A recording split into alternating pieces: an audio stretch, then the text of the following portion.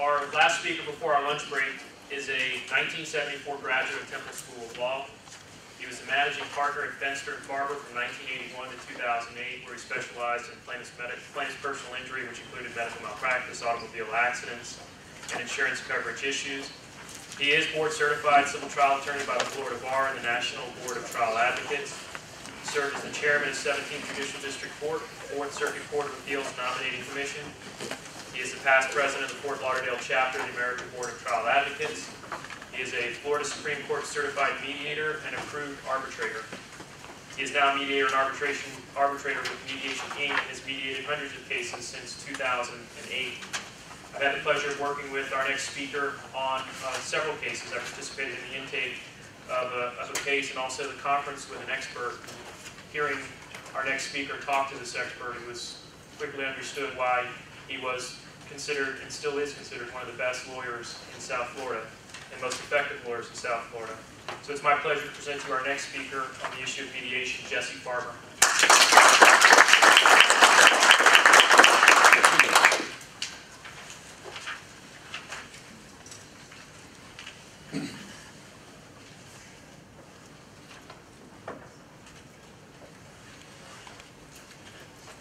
I'm in a, a typical spot for me. Um, I'm following a great lawyer, and more importantly, uh, a great person, because Herman's a terrific dad and husband. He's a, he's a great guy. And I'm in a typical position in that I'm speaking, and I'm holding you between, me is between you and lunch. Uh, When I was trying cases, we had a judge in, in Broward County, Diette Bernstein, and she was a terrific judge. She was probably the best judge we had in our circuit for the years I was trying cases. And in typical fashion, when we tried a case, she would do motion calendar from 8:45 till about 9:30. She'd get into the courtroom around 10, and she'd start addressing the jury, and she'd finish with the jury about 11:15, and she'd take a 15-minute break, and then she'd come back into the courtroom at 11:30, and she'd say, Mr. Faeber, the jury's yours, and then she'd turn to the jurors and say, as soon as Mr. Faeber finishes, we'll go to lunch. And I had the thankful position of then having to explain to them why I was going to spend the next three hours asking them questions. So I'm in the same position today. We're running a little bit late, and I am between you and lunch. So I want you to do something. I've been taking yoga classes. I want you to do something for me. All right? Now, it's not touchy-feely stuff. It's you can handle this. Yoga is not just exercise. It's also breathing. So I want everybody to take a deep breath through their nose. Hold it as long as you can, and then let it out. So hopefully you'll be awake while I go through some of this. Um, mediation uh, is an important part of, of the case, I think, for, for one very important reason. There are three, think about this, your case, whatever the case is, an automobile case, a malpractice case, what are the three most important days of the case? The first important day is getting the case, because you can't make money on a case you don't have.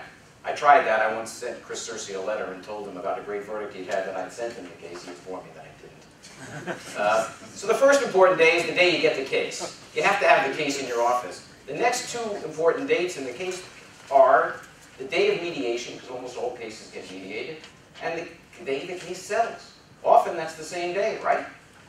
So it seems to me that you ought to put a little effort into it. And now having mediated a lot of cases, I can tell you that people do things differently. I'm going to try to go through this quickly. Uh, preparation and identifying the issues in your case. Liability seems pretty simple, right? Um, I'll tell you a little short story, and I'm going to pick on my former law partner, Jeff Fenster, who's a terrific lawyer. We were partners for 30 years. He's gotten great results. Um, but we were sort of the yin and yang of trial lawyers. We did things very differently. Uh, Jeff is sort of a guy who feels his way through a trial, whereas I was somebody who had to know everything. Um, and I once went into a courtroom and I watched him give an opening statement in a case. This was a terrific case. We had a client who was on a bicycle on A1A, got knocked over, um, hit his head, had a, had a, a subdural hematoma. And it was a pretty good case, and there were two pretty well-experienced defense lawyers there. And I sat in the back of the courtroom and I watched him give his opening statement. And he gets done, the judge takes a break, and I turned to my associate and I said, you know, that's really great. I said, he went right into the damages. I said, how did this accident happen? Does the jury have any idea how this accident happened? She said, no, that's Fenster. And then the two defense lawyers came over to me and said, boy, he did a great job. So it can show you that sometimes perception is different. But you need to spend a few minutes thinking, before you go to mediation, what are you going to say about liability? You'd be amazed at how I have people come in and start a mediation, and they'll start off with comparative negligence. They're already concerned, as, as, as Stuart was talking about this morning, they have things in the back of their mind they're afraid of, they're talking defensively. You need to make a sale. The first thing you need to do is you need to think, what is it I want to communicate? Because this is a great opportunity. You're speaking not just to the defense lawyer, you're typically talking to an adjuster, either in person or by phone. Think about what you're going to say about liability. Damages. Uh, I'm going to talk a little bit more about that, but you need to prepare damages. If you're going to ask for $150,000, think about how you're going to get to $150,000. Don't go in there and wing it. You ought to have a plan for how you're going to get there. Comparative negligence. Um, I think that this is uh, something that you ought to address in your opening statement. You need to prepare for it. What are your thoughts about comparative negligence? Um, there are a lot of different techniques that you can do. Uh, in mediation, one of the things, I, I just recently mediated a case. It was a terrific case, and I won't tell you who the lawyer was or the local Miami lawyer.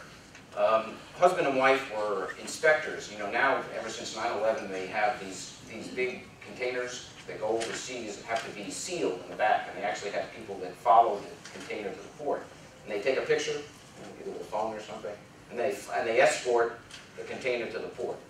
This was a husband and wife working together, and the wife was working, and she was actually taking a photo of the back of the truck. And this truck, this big semi, was, had been uh, moved about, I don't know, maybe 30 yards from the loading platform. And she went around the back, took her picture, and as you would imagine, she put her papers down on top of the loading platform. And she's taking her picture, she's writing in her report, and the truck backs up and crushes her. And she literally died in her husband's arms, because he was working with her, he was there, the truck backed up. And the defendants came in, and all they wanted to talk about was comparative negligence. And there are ways, and I was thinking to myself, this is a really pretty compelling case. Um, how often do you have a case where not only do you have a death, good injuries, you have, we don't have to worry about an IME, uh, and you have the, you have a spouse, a long-term spouse, this was a 20-plus year marriage, dies in the arms of her husband. And all the defendants wanted to talk about was the fact that she should have turned around and looked while this truck was backing up.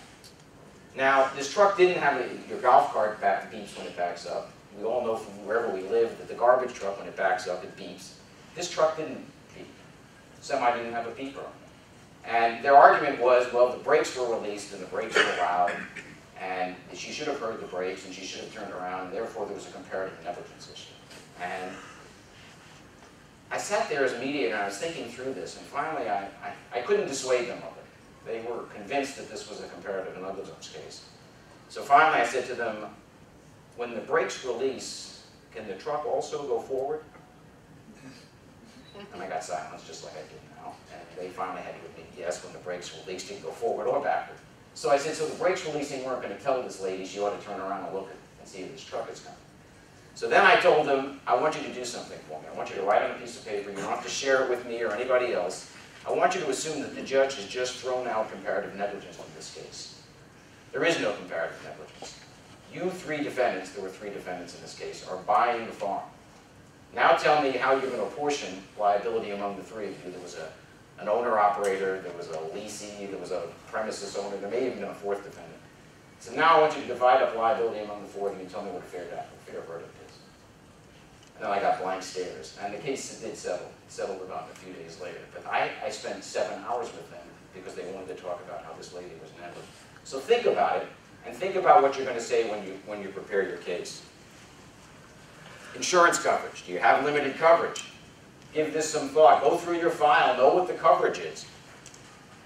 Do you have competing claimants? A lot of insurance companies now, we have these small auto cases, if any of you do them, uh, they have, they'll throw in their $20,000 and there may be five claimants. You better figure out who the other claimants are and what their injuries are and where you are in the priority of claims. I did one of these the other day.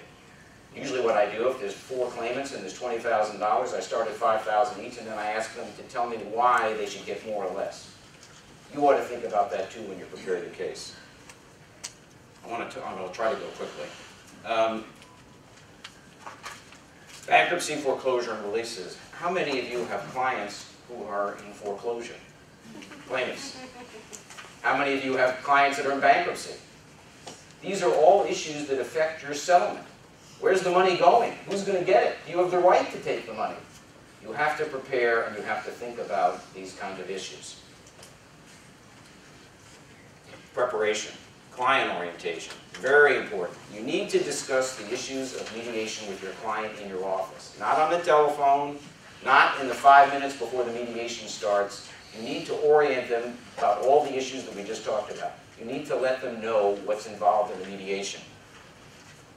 Similar verdicts and settlements. You know, clients have expectations. Sometimes they have tremendous expectations. Closing statement issues. Clients always want to know, what am I getting? What do I owe? What am I going to take away from this? Oh, great, you settled the case for $100,000. I'm walking out with 35. What happened? Um, they want to know these things. Um, and the reason I talk about client orientation, I'll tell another Jeff Fenster story. He had a terrific case years ago, and he asked me at the end, he said, you know, this judge, oh God, is giving me a hard time. I can't get the case settled. You try the case. So I walk into the, the uh, courtroom, and our client was working on a construction site. He was a young man in his late 20s or early 30s, and a crane operator knocked over a block wall, fell on him, killed him dead. Good case, right? Construction site, I got a crane operator, all sounds great. So we go into the courtroom, defense lawyer, experienced defense lawyer, very good lawyers. We pick a jury. Jury looks pretty good for the plaintiff, so I'm feeling pretty good. We take a break. Defense lawyer and the adjuster, as I expected, started to come over to me. I think they had offered us 250 or something beforehand. And they said, we'd like to talk. Another good sign. I like we talk. Um, So I figured, okay, they made me an offer, and they offered, I think they doubled their offer to a half million dollars. So our client, we typically, you know, when we tried cases, we didn't have the clients there for jury uh, selection. So I get the client on the phone, and I call them up, and I had hardly met the client. And the first thing out of a client's mouth is, I want 2.4 million. 2.4 million. I said, that number's familiar to me. Well, we had done shadow juries. Anybody here done jury simulation? Tried it? Well, we had a very bad issue in our case. Uh, Our young man lived at home with his mother, who was an emphysema patient. She had an oxygen tank everywhere she went. And he and she lived in the same house. Um, And he had a problem. You see, he used to beat up his mother. And the police had been called to the house three times to break up him beating up his mother. And the, of course, one of the issues in the case was could this come in? The judge ruled in my favor at the beginning of the trial. There were no convictions. And she then warned me and said, looked me right in the eye and said, if you paint him as a choir boy, all that's coming in. So she said, you better be careful about how you talk about him. And what my partner had done is he had tried the jury simulation, one with the evidence in and one with the evidence out. With the evidence out, he got a 2.4 million. With the evidence in, of course got a very modest. He shared the jury simulation with the client. Not always a good thing unless you explain to the client what that really means. So when I got the client on the phone, I said, well, I don't know what he told you about this, but there's a real chance in this case that all that stuff about your son beating you up is coming into evidence. And I said, that's not a really good thing. And I said, how many of you here in the room beat up your mother? That's what the jury's answer is going to be. And I said, so I had I had a client expectation of 2.4 million. Now, I did get the case settled, but client expectations are very important. Some people like to keep client expectations low. I'm not a big believer in that. I think you should be honest with them. I think you should tell them the range of what cases like that are about. Very important.